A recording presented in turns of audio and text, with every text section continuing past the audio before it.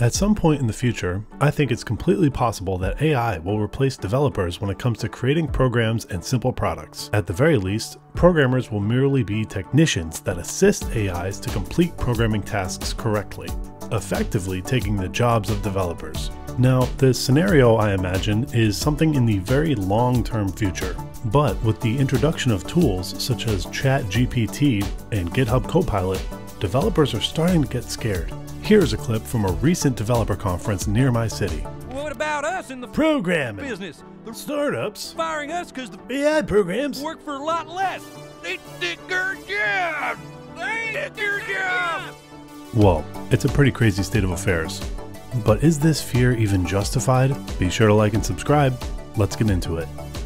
As I mentioned before, the two main artificial intelligence programs that have been blowing up lately are ChatGPT from OpenAI and Copilot from GitHub. The first one we're going to talk about is ChatGPT. ChatGPT is based on the GPT 3.5 language model. GPT stands for Generative pre-trained transformer. Basically, ChatGPT is a model that interacts in a conversational way. It's a general purpose AI, so it isn't necessarily specific for programming, but it's been trained on data from large swaths of the internet, so it's actually pretty good at programming. To test ChatGPT, I'm going to use a pretty basic interview question in React, which is the five-star rating component. Basically, you have to create a component that allows a user to rate an item 1 through 5 using stars. To accomplish this, we can just type in the ChatGPT chat box to create a React component that allows a user to rate something from 1 to 5 using stars. Amazingly, ChatGPT spits out not only a star rating component that actually shows the different ratings an item can have, but it also spits out the upper level component in the app.js, which calls the star rating component as a child. On top of that, it gives us directions as to where to put these files and interesting comments that it leaves in the files themselves. I'm interested to try this out, so let's do that. First, we're going to want to create a new React app for this new program generated by the AI. Once Create React App finishes, we're going to open up app.js and copy and paste everything from ChatGPT into this file. Fix up a little bit of our formatting, and then we go and create our new star rating component. And just like with app.js, we want to copy everything from the star rating component in ChatGPT into this file. Then we want to run our program with yarn start, open up our browser, and this leaves a lot to be desired. Let's check out the code. We can see that it gives us two radio buttons, one with an ID of rating 4 and another with an ID of rating 5. We can also see in the comments that it tells us to repeat this for ID of rating 3, 2, and 1. I would say though, this code isn't really well put together and it would take a lot of editing to make work correctly. The next AI program I want to talk about is GitHub Copilot.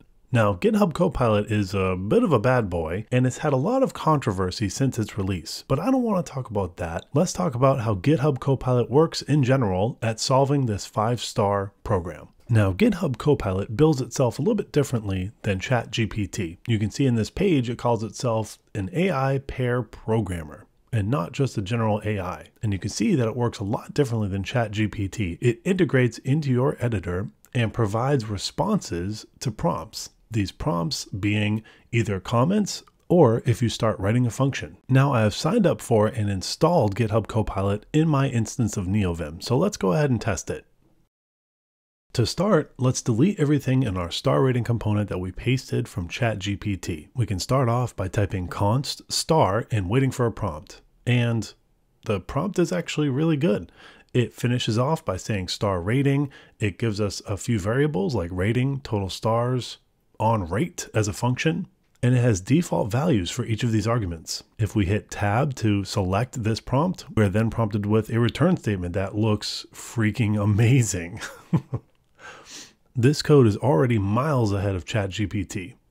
We create a new array and map over each element in the array and produce five stars, one for each element. We can see also that it's trying to create a nested component called star. So let's create that component and see what GitHub Copilot thinks we should do there.